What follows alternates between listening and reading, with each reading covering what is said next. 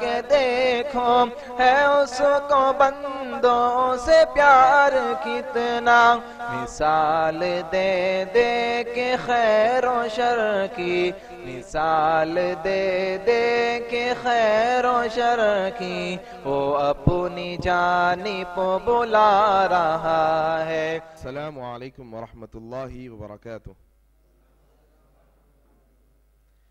ان الحمد لله الحمد لله نحمده ونستعينه ونستغفره ونعوذ بالله من شرور أنفسنا ومن سيئات أعمالنا.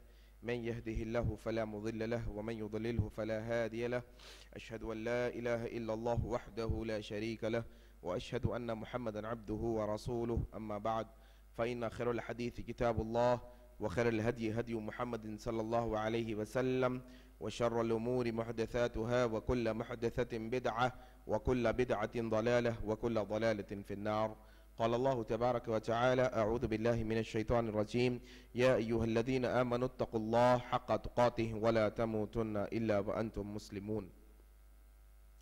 آج کا ہمارا یہ درس اس کا آغاز میں اللہ تبارک و تعالی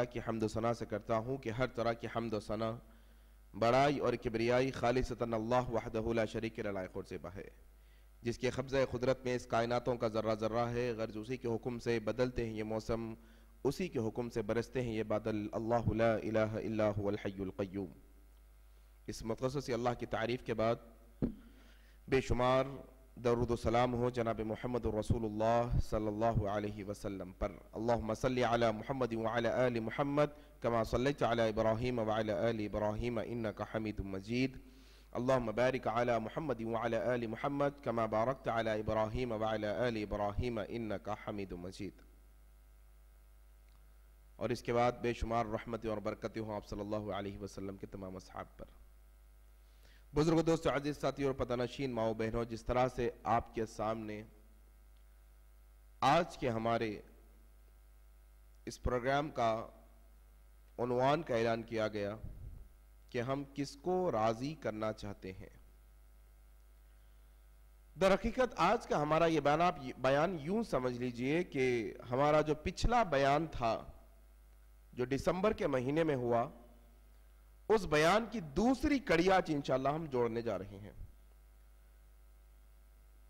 تھوڑا سا آگے بڑھنے سے پہلے یہاں دیکھ لیں گے کہ لاسٹ ٹائم پہ ہمارا ایک ٹاک ہوا تھا کہ اللہ کی محبت کیسے حاصل کریں۔ تھے آپ لوگ؟ تھے؟ کون کون؟ آپ تھے؟ آپ، اللہ کی محبت۔ آپ میں آپ تھے اور؟ آپ نہیں تھے۔ آپ تین، چار لوگ نہیں تھے، آپ تھے۔ ٹھیک ہے۔ ایک سیشن ہم نے لیا تھا کہ اللہ کی محبت ہم کیسے حاصل کریں۔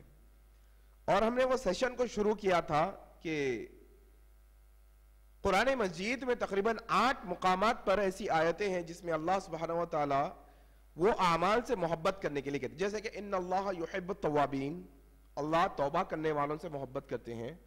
وہ یحب اللہ پاک صاف رہنے والوں سے محبت کرتے ہیں۔ ہم نے دو آیتیں بتائی اور چھ آیتوں کو ہوم ورک دیا تھا، یاد ہوگا۔ ایک پیپر دیا تھا۔ امید کرتا ہوں کیا ہوگا آپ نے انشاءاللہ۔ وہ باقی بھی لکھے ہوں گے آپ لوگ۔ اور اگر نہیں لکھے ہیں تو تھوڑا سا اللہ کی محبت حاصل کرنے کے لیے تھوڑا سا محنت کرنے کی ضرورت ہے۔ آج کے سیشن میں انشاءاللہ اس کی دوسری کڑی میں ہم یہ سیکھیں گے ہم کس کو راضی کرنا چاہتے ہیں۔ ہم کس کو راضی کرنا چاہتے ہیں۔ آپ دیکھیے، آپ اور میں، آپ کی اور میری زندگی صبح سے شام تک کے معاملے میں یہ جو راضی کا لفظ ہے، ہم بہت دفعہ استعمال کر سکتے ہیں۔ تھوڑا بچے کہتے ہیں، امی راضی نہیں ہوں گی۔ باس راضی نہیں ہوگا۔ سانپ راضی نہیں ہوں گے۔ دوست راضی نہیں ہوگا۔ راضی کروانا پڑے گا۔ یہ جو راضی لفظ ہے، صبح سے شام تک میں ہم استعمال کرتے ہیں اور آپ کی میری زندگی کا تھوڑا سا اگر جائزہ لے لیں تو یہ بات بخوبی سمجھ میں آ جائے گی کہ آپ میں صبح سے شام تک چوبیس گھنٹے، سات دن ہفتے کے، مہینے کے تیس دن اور سال کے بارہ مہینے۔ یہ سارے دنوں اور اوقات کے اندر ایک ایک لمحے کے اندر ہم کسی نہ کسی کو تو راضی کرنا چاہتے ہیں۔ کسی نہ کسی کو تو۔ کوئی شوہر ہے جو بیوی کو راضی کرنا چاہتا ہے؟ کوئی بیوی ہے جو شوہر کو راضی کرنا چاہتی ہے؟ کوئی اولاد ماں باپ کو راضی کرنا چاہتی ہے؟ دوست ہے، دوست کو راضی کرنا چاہتا ہے، رشتہ داروں کو راضی۔ غرض کے صبح سے شام تک ہماری ساری زندگی کے اندر ہم کسی نہ کسی کو راضی کرنا چاہتے ہیں سوائے اللہ کے۔ آپ دیکھیے، اس کی ایک چھوٹی مثال دے کر میں بات سمجھانے کی کوشش کروں گا۔ انسان کپڑے خریدنے جاتا ہے آپ بھی جاتے ہیں نا؟ کپڑے خریدتے ہیں ہم۔ کوئی ایسا شخص ہے کہ یہ والا کلر لوں گا تو اللہ کو کیسا لگے گا؟ یہ ڈیزائن پہنوں گا تو رسول اللہ کو کیسا لگے گا؟ یہ لوں گا تو اسلام کو کیا لگے گا؟ آپ دیکھیے، ہمارے نوجوان ہیں، کپڑے خریدنا چاہتے ہیں، دوستوں کی مرضی کے حساب سے۔ دوست جس شکل میں رہتے ہیں، دوستوں کے ماڈرن رہنا ہے ماڈرن کپڑے خرید لوں گا۔ شوہر ہے شادی شدہ حضرات، بیوی کی مرضی کے مطابق خریدتے ہیں۔ میں بری بات نہیں ہے، خرید سکتے ہیں۔ لیکن میں یہ بتانا چاہتا ہوں کہ چھوٹی چھوٹی چیزوں میں اگر جائزہ لیں گے تو یہ بات پتا چلے گی کہ ہم کسی کی مرضی چاہتے ہیں زندگی میں۔ کسی کی مرضی ہم لینا چاہتے ہیں۔ آپ دیکھیں، انسان اچھے کپڑے کیوں پہنتا ہے؟ تاکہ لوگوں کی مرضی آ جائے وہ کیا کپڑے پہنے؟ بھائی، زبردست ہے۔ بہت اچھے لگنے میں۔ کیا زیور پہنے بہنوں کے۔ بہن کہتی ہے، دوسری بہن کی۔ اب دیکھیے ہیئر اسٹائل بنانے جاتا ہے انسان کٹنگ کروانے جاتا ہے، بال کٹانے۔ کس کی مرضی؟ فیشن کی مرضی چلے گی نا۔ کہ ادھر سے تھوڑے تھوڑے چھوٹے سر پہ کے اوپر کے بڑے بڑے، تھوڑے تھوڑے ایسے ایسے اس میں لائنز بنے ہوئے۔ مطلب یہ انسان چاہتا ہے کہ کسی کی مرضی پالے، کوئی اس کی مرضی میں شامل ہو جائے۔ کوئی یہ سمجھ لے کہ ہاں میں راضی ہوں بھائی، بہت اچھے لگتے ہو تم۔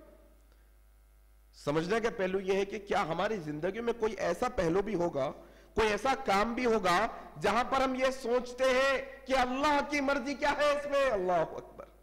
ڈھونڈیے پہلو کو ہماری آپ کی زندگی میں۔ ڈھونڈیے۔ آئیے، آج کی نشست کی جو پہلی حدیث میں آپ کے سامنے سناؤں گا، وہ اللہ کی مرضی اگر حاصل کریں گے، اگر ہر معاملے میں اللہ کی مرضی کو سوچیں گے کپڑے پہنتا ہوں اللہ کی مرضی کے مطابق بات بنواتا ہوں اللہ کی مرضی کے مطابق، دعا پڑھائی کرتا ہوں اللہ کی مرضی کے مطابق، عبادت کرتا ہوں اللہ کی مرضی کے مطابق آپ تجارت کرتا ہوں اللہ کی مرضی کے مطابق، میری رشتہ داری ہے اللہ کی مرضی کے مطابق، میری دوستی ہے اللہ کی مرضی کے مطابق، میرا اٹھنا، میرا بیٹھنا، میرا مرنا، میرا جینا، میرا کھانا، میرا پینا، میرے زندگی کے ہر معاملات اللہ کی مرضی کے مطابق ہے۔ اگر یہ کر لے تو اللہ کے نبی جناب محمد رسول اللہ صلی اللہ علیہ وسلم فرماتے ہیں، حضرت سعید بن نبی وقاص رضی اللہ تعالیٰ عنہ روایت کرتے ہیں، صحیح بخاری مسلم کی حدیث ہے، جب انسان اللہ کی مرضی حاصل کرنا چاہتا ہے، اللہ کے نبی صلی اللہ علیہ وسلم فرماتے ہیں کہ ایک انسان خرچ کرتا ہے۔ خرچ کرتے نہیں اپن؟ خرچ کرتے ہیں۔ جیو کا ایک سو پچاس کا ہے، کم از کم کا ریچارج۔ کرتے نہیں کرتے؟ خرچ۔ انسان جاتا ہے، دوست کے ساتھ ہے، بھوک لگ رہی ہے، خرچ۔ کھا لیں گے بھائی، سو دو سو کا کیا مسئلہ ہے؟ خرچ کرتا ہے انسان۔ اللہ کے نبی صلی اللہ علیہ وسلم یہ حدیث کے اندر اللہ کی مرضی حاصل کرنے کی اہمیت بتاتے ہیں۔ صحابی نبی وقاص کہتے ہیں، صحیح بخاری کی اور مسلم کی روایت ہے، اللہ کے نبی نے کہا، انسان خرچ کرتا ہے، یہاں تک کہ اللہ کے لیے خرچ کرتا ہے۔ یہاں تک کہ اپنی بیوی کو اللہ کی مرضی کے لیے ایک نیوالا کھانا کھلاتا ہے، تب بھی اسے ثواب دیا جاتا ہے۔ اب دیکھو، تصور کرو ایک شوہر اس کی بیوی۔ اس کو کھلانا کس کی ذمہ داری؟ شوہر کی۔ ذمہ داری ہے اس کی۔ لیکن اگر وہ ذمہ داری میں اللہ کی مرضی شامل کر لے گا تو ایک نوالا کھانا کھلانے پر بڑی ثواب ملے گا۔ اور اگر تم حج کر لو عمرے کر لو، بڑے بڑے ثواب کے کام کر لو، اس میں سے اللہ کی مرضی ہٹ جائے گی، قبول نہیں ہوں گے۔ یہ چیز سمجھنے کی ضرورت ہے آج آپ کو اور میرے کو۔ کہ اللہ کی مرضی اپنی زندگیوں کے اندر شامل کر لیں گے انشاءاللہ۔ پھر دیکھیے آپ، قدم قدم پہ ثواب اللہ کی طرف سے۔ اللہ کے لیے، اللہ کی مرضی کے مطابق سارے کام ثواب ملے گا انشاءاللہ۔ ثواب ملے گا انشاءاللہ۔ اور اگر اللہ کی مرضی کو چھوڑ دیں گے، کسی اور کی مرضی پہ، آج دیکھیے اب حج کا معاملہ ہو، الحاج لکھ لیتے کیا لکھتے الحاج فلانے صاحب۔ اچھا خالی بولتے بھی نہیں۔ گھر کے باہر نیم پلیٹ ہوتی دیکھیے آپ، اس میں بڑا لکھتے۔ ایسا بھی معاملہ دیکھنے میں آیا کہ ایک صاحب کو شادی کا انویٹیشن دینے گئے۔ تو محمد بھائی الحاج تھے۔ تو الحاج لکھنا بھول گئے۔ اتنی بدتمیزی، اتنی جو ہے آپ جو ہے عزت نہیں کر سکتے ہماری۔ بھائی حاجی صاحب ہے الحاظ لکھ دیتے نام سے پہلے اللہ اکبر۔ دیکھو کس کی مرضی ہو گئی یہاں پر ابھی؟ یا اللہ کی مرضی نہیں ہے یہ۔ اور ہنسی کی بات یہ ہے، حج کر کے آئے تو حاجی، نماز پڑھ کے آئے تو؟ کیا بولیں گے؟ سلاتی نمازی، کچھ تو بھی لکھیں گے آگے۔ زکات دیے تو زکاتی لکھیں گے۔ عجیب مسئلہ ہے نہیں تھوڑا سا۔ عجیب و غریب معاملہ تھے یہ۔ اللہ کی مرضی جب شامل ہوتی ہے تو انسان اپنی نیکیوں کو چھپاتا ہے، یاد رکھنا۔ جب اللہ کی مرضی انسان کی زندگی میں آتی ہے، انسان گناہوں سے بچنے کی کوشش کرتا ہے۔ اور انشاءاللہ اللہ کی مرضی کتنی اہمیت کی ہے، اللہ کے لیے عمل کتنا اہمیت کا ہے، یہ چیز جاننے کے لیے دوسری حدیث دیکھتے ہیں۔ راوی حضرت ابو حریرہ رضی اللہ تعالیٰ عنہ ہے مسرد احمد کی حدیث ہے، کہتے ہیں اللہ کے نبی صلی اللہ علیہ وسلم نے فرمایا، تم میں سے کوئی شخص، تم میں سے کوئی شخص دین کا علم سیکھتا ہے دنیا حاصل کرنے کے لیے۔ آگے بات سمجھ، اب مرضی کا مسئلہ ہے یہاں پر۔ دین کا علم سیکھ رہا ہے، عالم بن گیا ہوں، حافظ بن گیا ہوں، مقرر بن گیا ہوں دائی بن گیا ہوں۔ کیا دین کے علوم حاصل کر رہا ہوں؟ دین کی باتیں سیکھ رہا ہوں۔ مقصد اللہ کی رضا نہیں ہے۔ مقصد یہ ہے کہ دنیا مل جائے۔ اللہ کے نبی کے الفاظ ہے مسرد احمد کی صحیح حدیث ہے، کہتے ہیں کوئی شخص دین کا علم اس لیے حاصل کرتا ہے تاکہ اسے دنیا مل جائے۔ اللہ کے نبی کہتے ہیں، جنت میں جانا دور، جنت کی خوشبو بھی نہیں سنگائی جائے گی۔ اللہ اکبر۔ اللہ کی مرضی چھوڑیں گے، بہت دور ہو جائیں گے، یاد رکھنا۔ نقصان ہی نقصان، گھاٹا ہی گھاٹا۔ آئیے اسی طریقے سے حضرت ابو امامہ الباہلی رضی اللہ تعالیٰ نے بات کہتے ہیں، نسائی کی حدیث ہے، کہتے ہیں کہ اللہ کے نبی کے پاس ایک شخص آیا۔ آگر سوال کیا، اے اللہ کے نبی ایک شخص جہاد کرنا چاہتا ہے۔ جہاد سمجھتے ہیں نا؟ جہاد مطلب انسان جہاد پہ جب نکلتا ہے تو واپس آنے کی امید ہوتی ہے عام طور پر۔ نہیں، وہ صحابہ کا جہاد۔ گئے تو بس شہید ہو گئے، معاملہ آنے کا کوئی توقع کم۔ بس آگے آگے غازی بن کر۔ جہاد کا معاملہ۔ اللہ کے نبی سے ایک شخص سوال کر رہا ہے کہ اللہ کے نبی ایک شخص جہاد کرنا چاہتا ہے اور کس کے لیے؟ اللہ کے لیے۔ صحابی کہتے ہیں اللہ کے نبی ایک شخص جہاد کرنا چاہتا ہے اور وہ جہاد اللہ کے لیے کرنا چاہتا ہے اور وہ چاہتا ہے کہ ذرا وہ نامور بھی ہو جائے لوگوں کے اندر۔ نامور کا مطلب کیا ہوتا معلوم؟ فیمس ہو جائے۔ پوری امت میں بیماری ہو گئی فیمس ہونے کی، جانتے ہیں آپ؟ پوری امت میں کیا ہو گئی؟ بیماری ہو گئی فیمس ہونے کی۔ لوگوں کے اندر انسان چاہتا ہے کہ میرے چرچے ہو، لوگ میرا تذکرہ کریں لوگ میری تعریفیں کریں، لوگ مجھے جانے لوگ مجھے پہچانے لوگ میں میں فیمس ہو جاؤں۔ آج یہ بیماری لگی ہے۔ ٹک ٹاک یہ بیماری چھے۔ یہ فیمس ہونے کی بیماری ہے ٹک ٹاک اس میں سے ایک۔ فیس بک یہی بیماری ہے۔ واٹس اپ اسٹیٹس یہ ساری چیزیں بیماری کا حصہ ہے اور ٹک ٹاک سے بڑی اچھی بات یاد آئی۔ اگر کوئی آپ سے پوچھے ٹک ٹاک کیا ہے، جانتے ہیں ٹک ٹاک کیا ہے؟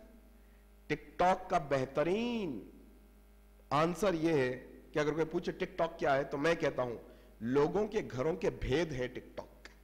لوگوں کے گھروں کے اخلاق ہے ٹک ٹاک۔ ٹک ٹاک سے معلوم ہوتا ہے، معلوم پڑتا ہے کہ تمہارے گھر کی بچی کیسی ہے اخلاق میں، کیسے بے تک کے کام کرتی ہے ٹک ٹاک میں آ کر۔ ٹک ٹاک تمہارے گھروں کی پوٹ کھول رہا ہے، ٹک ٹاک یہ بتا رہا ہے کہ تمہارے گھروں کا ماحول کیسا ہے بدتمیزی والا۔ حد تو یہ ہو گئی انسان فیمس ہونے کے لیے خود کی بیوی کو خود کی بچی کے ساتھ ٹک ٹاک کی ویڈیو بنا رہا ہے۔ اللہ کے نبی صلی اللہ علیہ وسلم نے فرمایا دیوس دیوس قیامت کے دن اللہ نہ اپنی رحمت کی نظر کرے گا، نہ انہیں پاک صاف کرے گا، نہ گناہوں سے معاف کرے گا۔ کس کو؟ دیوس کو۔ دیوس پر اللہ نظر، کون ہے دیوس ایسے ہی ٹک ٹاک بنانے والے۔ اپنی ماں بہن بیٹیوں کو روک، نہ روکنے والے۔ اپنے ماں بہن بیٹیوں کو بے پردے کروانے والے دیوس ہوتے ہیں۔ آج کے بعد ٹک ٹاک کیا ہے بتا کیا بولنا؟ لوگوں کے گھروں کی پول ہے یہ۔ یہ تمہارے لوگوں کا گھرانہ کیسا ہے؟ اندر کا سب باہر لا کے بتا رہا ہے ٹک ٹاک۔ کیا کہا؟ سوال اللہ کے نبی سے صحابی نے کہ اللہ کے نبی صلی اللہ علیہ وسلم، بتائیے، ایک شخص جہاد کرنا چاہتا ہے، کس کے لیے جہاد کرنا چاہتا ہے؟ اللہ کے لیے جہاد کرنا چاہتا ہے۔ اور وہ چاہتا ہے کہ وہ لوگوں میں نامور بھی ہو جائے، لوگوں میں فیمس بھی ہو جائے۔ اے اللہ کے نبی، بتائیے اس شخص کو عجر میں کیا ملے گا؟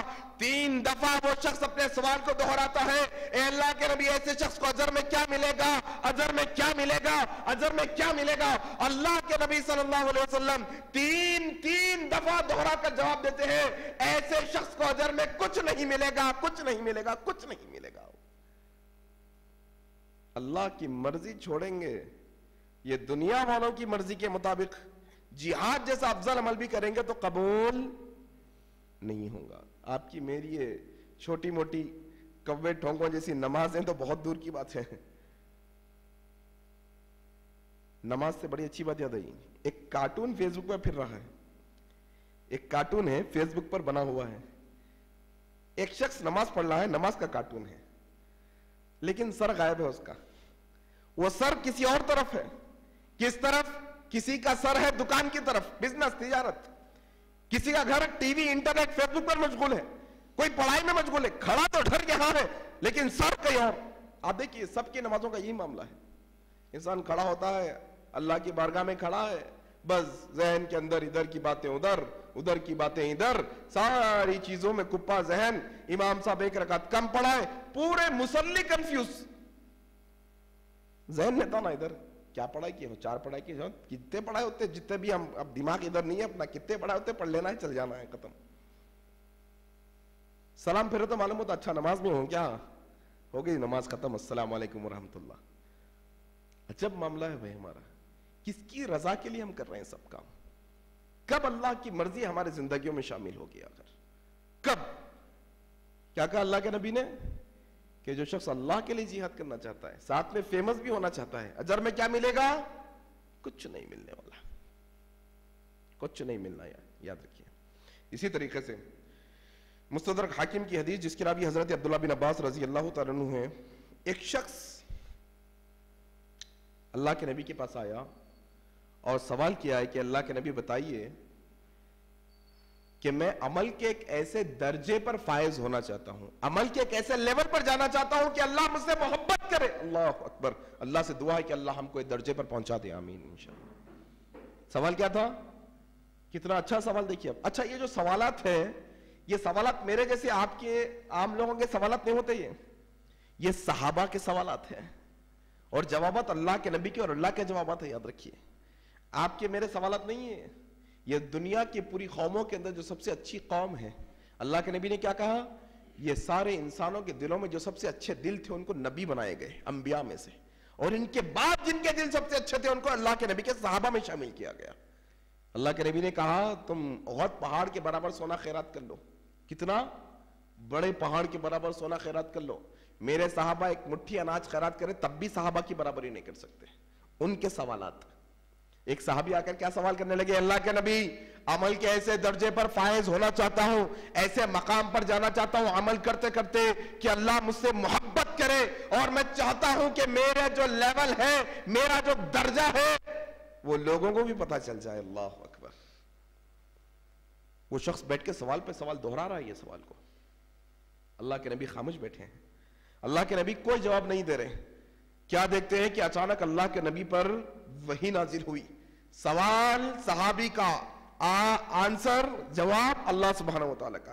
سورہ کہف کی آخری آیت نازل ہوئی، فمن کان یرجو لقاء ربه فلیعمل عملا صالحا ولا یشرک بعبادت ربه احدا تم میں سے جو کوئی اللہ سے ملاقات کی توقع رکھتا ہے وہ جو جانتا ہے کہ اللہ سے ملاقات ہوگی، اسے چاہیے کہ وہ نیک عمل کرے اور اللہ کی عبادت میں کسی ایک کو بھی شریک نہ کرے۔ اللہ اکبر۔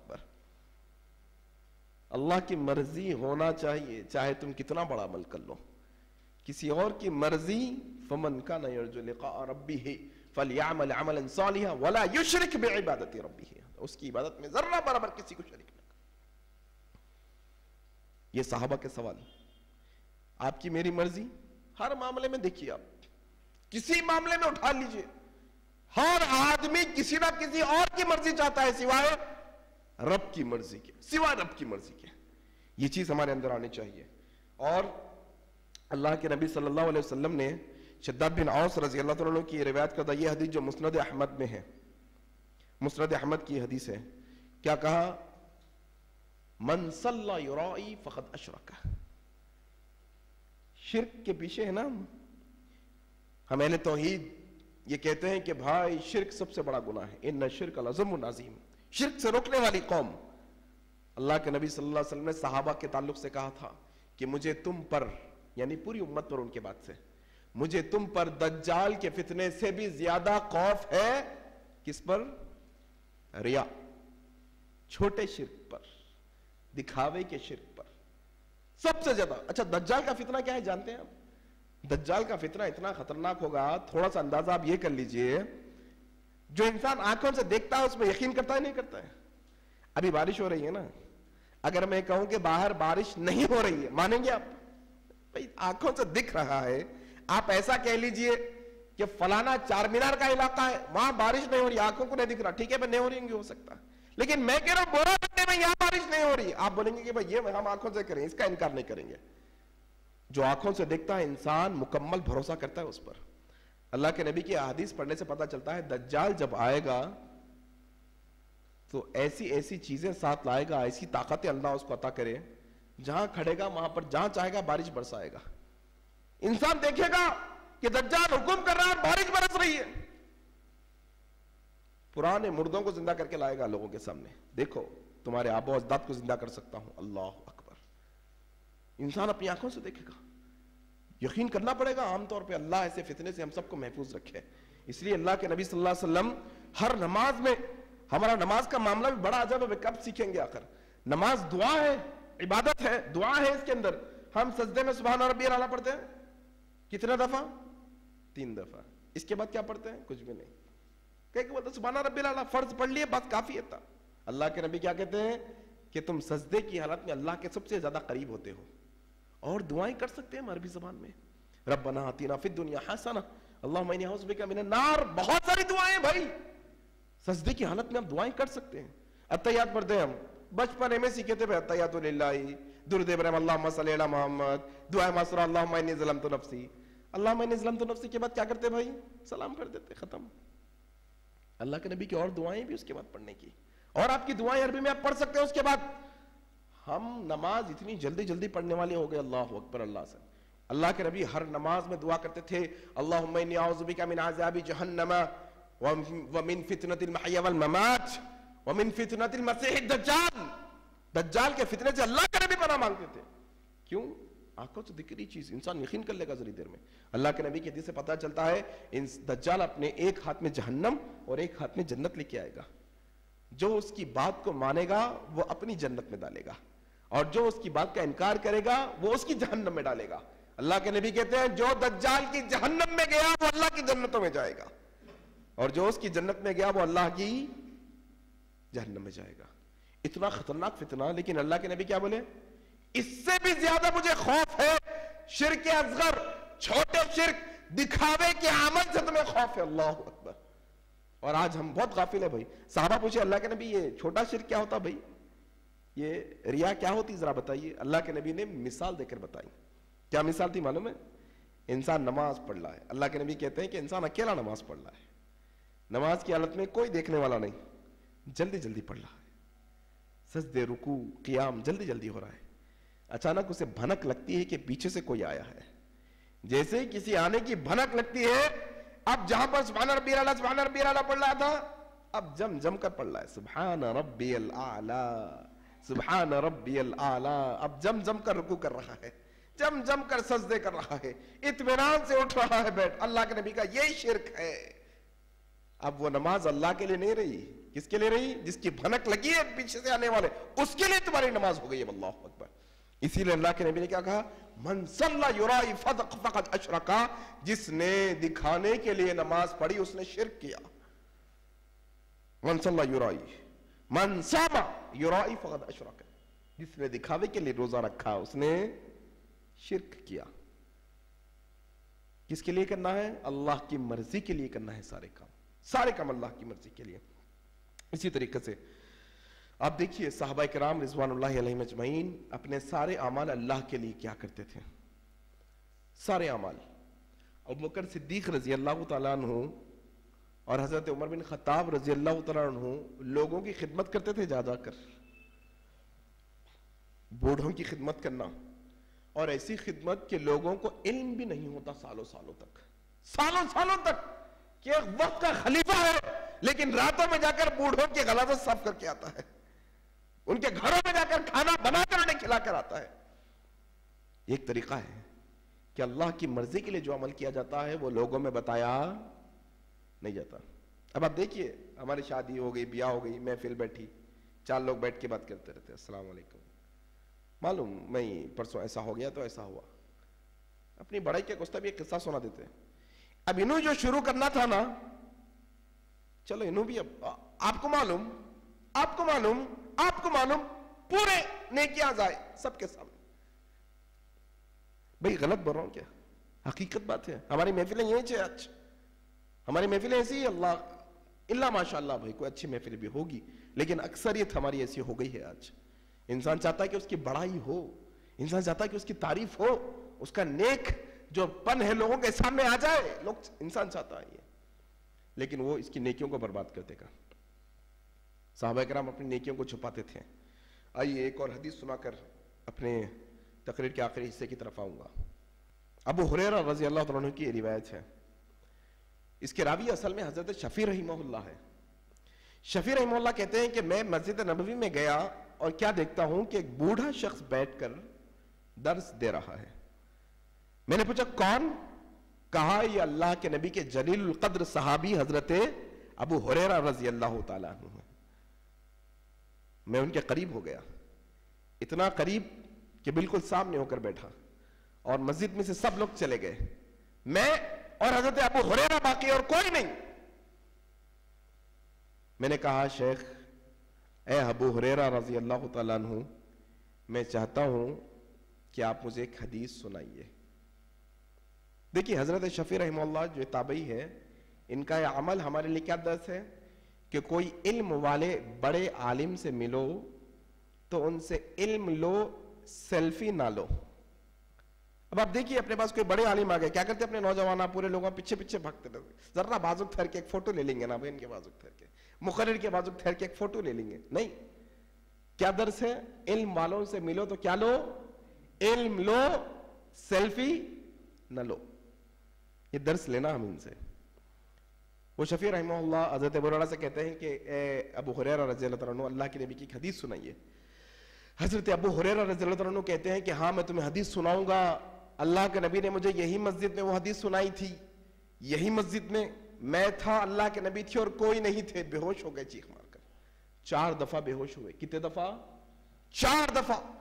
بعد میں ہوش آیا، کہنے لگے ہیں میرے ساتھی، میں سناؤں گا تمہیں حدیث۔ اللہ کے نبی صلی اللہ علیہ وسلم نے فرمایا، قیامت کے دن ایک ایسا منظر بھی ہوگا کہ ایک قرآن کے خاری کو، دین کے عالم کو لایا جائے گا، کھڑا کیا جائے گا، نعمتیں پوچھی جائے گی۔ علم دیا تھا، کیا کر کے آیا اللہ سوال کریں گے۔ کہے گا، میں قاری قرآن تھا، عالم دین تھا، تیری قرآن کو، تیری باتوں تک، لوگوں تک پہنچا کے آیا تیری باتوں کو۔ اللہ سبحانہ وتعالی اور فرشتے کہیں گے، تو جھوٹا ہے۔ تو تو یہ چاہتا تھا کہ تیرے علم کے چرچے ہو گئی تو تو یہ چاہتا تھا کہ تیری تعریفیں ہو، جا۔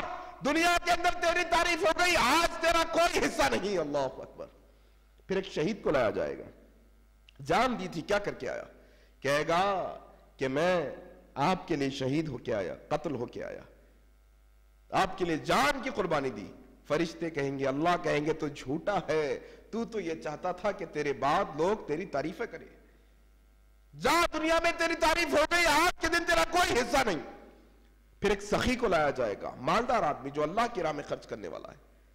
مال دیا تھا، کیا کر کے آیا؟ کہ اللہ کی راہ میں مال خرچ۔ فرشتے اللہ کہیں گے، جھوٹا ہے۔ تو تو یہ چاہتا تھا کہ تیری تعریف ہو کہ کیا سخی بندہ ہے وہ کیا خرچ کرنے والا اللہ کی بارگاہ میں، اللہ کی راہ میں، جا دنیا میں تیری تعریف ہو گئی۔ آج تیرا کوئی حصہ نہیں۔ حضرت ابو حریرہ کہتے ہیں، اللہ کے نبی نے اپنے دونوں ہاتھوں کو میری رانوں پر ایسے مارا اور کہا، ابو حریرہ قیامت کے دن یہ تین وہ لوگ ہوں گے جن سے جہنم کی آگ کو سب سے پہلے بھڑکایا جائے گا۔ اللہ اگر آپ یہ حدیث پر غور کریں گے تو آپ کو بخوبی اندازہ ہوگا کہ جو تین عمل ذکر ہوئے ہیں، یہ کوئی معمولی عمل نہیں ہے اسلام کے اندر۔ جانتے ہیں عالم اور قرآن کے حافظ قرآن کا درجہ کیا ہے؟ قاری قرآن کا۔ بہت بڑا درجہ ہے قاری قرآن کا اسلام کے اندر۔ ایک حدیث میں یہ ہے کہ اللہ کے نبی صلی اللہ علیہ وسلم نے کہا، جب قیامت میں قاری قرآن جائے گا تو اللہ تعالیٰ کہیں گے، درجے قرآن کے جنت کے درجے ہیں نا، ایک درجہ، دو درجے، اوپر اوپر جاتے جائیں۔ گے اللہ کے نبی کہتے ہیں، قاری قرآن سے کہا جائے گا، ہر آیت پڑھتا جا، ایک ایک درجہ چڑھتا جا، جتنی قرآن یاد ہے پڑھ، جہاں رکے گا وہاں تیرا درجہ، اللہ اکبر۔ یہ قاری قرآن۔ لیکن اگر اللہ کی مرضی اس میں شامل نہیں، تو سب الٹا ہوگا اس کا۔ شہید ہونا کوئی معمولی بات ہے بھائی؟ انسان کو اپنی جان سے کوئی چیز پیاری ہوتی ہے دنیا کے اندر؟ اپنی جان کی قربانی دینا شہادت ہے بھائی۔ وہ شہید اللہ کی مرضی کے لیے شہادت ہوگی تو فائدہ۔ اتنا بڑا عمل ہی یاد رکھنا ہے۔ لیکن اگر اللہ کی مرضی اس میں شمار نہیں ہوگا، سب الٹا ہوگا۔ مال خیرات کرنا، مال خرچ کرنا، یہ بھی بہت بڑا نیک عمل ہے یاد رکھنا۔ مال خرچ کرنے کی وجہ سے حضرت عثمان بن عفان کو جنت کی بشارت دی گئی، جانتے ہیں نا؟ مالداروں کے بہت بڑے فضیلت ہے اسلام کے اندر۔ لیکن یہ بڑا عمل اگر اللہ کی مرضی کے لیے نہیں ہوگا، تو سب الٹا ہوگا۔ اسی لیے ہم نے آج کیا عنوان رکھا تھا؟ ہم کس کو راضی کرنا چاہتے ہیں؟ ہم اللہ کو راضی کرنا چاہتے ہیں اور چاہیے بھی کہ ہم اللہ کو راضی کریں۔ آئیے آج کے سیشن کی آخری حدیث۔ حضرت سعید بن ابی فضالہ رضی اللہ تعالیٰ نے روایت کرتے ہیں، مسند احمد کی حدیث ہے کہ قیامت کے دن لوگوں کو جمع کیا جائے گا۔ سب جمع ہو جائیں گے نا قیامت کے دن؟ تو سب جم گٹھے کے اندر پکارنے والا فرشتہ پکارے گا۔ آواز لگائے گا کہ اے شخص، اے لوگوں، سنو، آج تمہیں بدلہ دیا جائے گا، لیکن جن کے لیے تم نے عمل کیا ہے، بدلہ بھی ان سے مانگو آج جاؤ۔ تم نے دنیا والوں کے لیے عمل کیا نا، تم نمازی بنے تھے، ابو کو دکھانے کے لیے ادھر بھی ابو سے مانگو جاؤ آج۔ تم نیک بن رہے تھے دنیا والوں کے لیے، جاؤ، یہ نیکیاں بھی تم دنیا والوں سے مانگ لو۔ تمہارے جو جو عمل تم نے اگر تم نے عمل اللہ کی رضا کے لیے کیے، اللہ کی مرضی کے لیے کیے، تو اجر اللہ دے گا تمہیں آج۔ کیا پکارے گا فرشتہ؟ جن کے لیے تم نے عمل کیے ہیں، اجر بھی ان سے لے لو، اللہ اکبر۔ تھوڑا سا نیتوں میں سدھار لانے کی ضرورت ہے۔ نیت۔ صحابہ اکرام بہت احتیاط کرتے تھے، یاد رکھنا نیت کے اندر۔ بہت احتیاط کرتے تھے۔ ایسی احتیاط اللہ کے لیے کرنے کے لیے حضرت علی رضی اللہ عنہ کا واقعہ، حضرت علی رضی اللہ عنہ جنگ لڑ رہی ہیں۔ جہاد کا معاملہ ہے۔ اچانک ایک کافر تلوار کے زد میں آیا۔ ایسا مارنے ہی والے ہیں کہ کھکار کر منہ پر تھوک دیا حضرت علی کے۔ حضرت علی چھوڑ دیا اور واپس۔ لوگوں نے کہا رہے بھائی، دشمن مار ڈالتے، دشمن تلوار کے نیچے آیا، رون ڈالتے، ختم ہو جاتا، قصہ تمام ہوتا۔ حضرت علی نے کہا کہ اسے مارنے ہی والا تھا۔ جیسے انہیں اس نے مجھے میرے منہ پر تھوکا، اچانک میرے دل میں غیرت آئی۔ اور میں سوچا کہ کیا تھوکنے کے بدلے کے لیے مار رہا ہوں؟ نہیں، میں تو اللہ کے لیے مارنے کے لیے آیا ہوں۔ لہذا چھوڑ دیا اللہ اکبر۔ صحابہ اتنی احتیاط کیا کرتے تھے۔ ہمارے سارے عملوں کے اندر یاد رکھیے، ہر معاملے کے اندر۔ اللہ کی رضا کو اگر ہم شامل رکھیں گے، اللہ دنیا میں بھی سرخرو کرے گا، ثواب بھی عطا کرے گا۔ قیامت کے دن میں انشاءاللہ اس کا بھرپور اجر عطا کرے گا انشاءاللہ۔ آج کا عنوان یہی سیشن کے، آج کا سیشن ہمارا اسی لیے تھا کہ تھوڑا سا ہماری زندگی جو ہے نا بہت رانگ سائٹ پہ جا رہی ہے۔ تھوڑا سا اللہ کی مرضی کی طرف لائیں گے انشاءاللہ۔ لائیں گے نا انشاءاللہ۔ اللہ تعالیٰ سے دعا کرتا ہوں کہ اللہ سبحانہ و تعالیٰ ہم تمام لوگوں کو اللہ کے لیے عمل کرنے والا بنا دے۔ اللہ کی مرضی حاصل کرنے والا بنا دے۔ اللہ کو راضی کرنے والا بنا دے۔ ہمیں جب تک زندہ رکھے، اسلام پر زندہ رکھ۔ جب ہماری موت آئے تو اسلام پر آئے۔ سبحانک اللہم و بحمدک اشہدو ان لا الہ الا انت، استغفرک و اتوب الیک۔ والسلام علیکم ورحمت اللہ وبرکاتہ۔ ہر ایک شے میں جھلکو اپنی ربوبیت کی دکھا رہا ہے۔